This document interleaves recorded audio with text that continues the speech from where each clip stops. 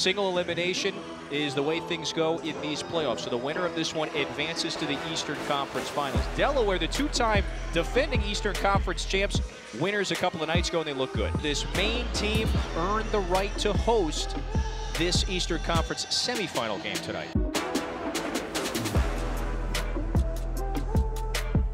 Walsh improvising, got it with the left.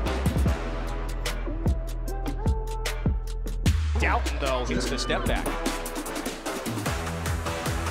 Walsh turns it down, blows by Council, and the monster throwdown. Council just taking over right now. It's a second quarter rampage.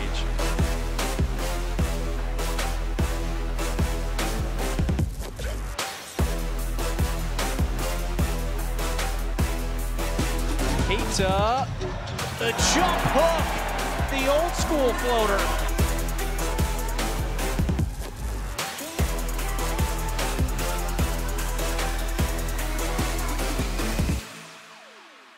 Queta, oh, the two-hand stuff. Hmm. Now we're gonna go do it again. Our defensive player of the game, Jordan Walsh.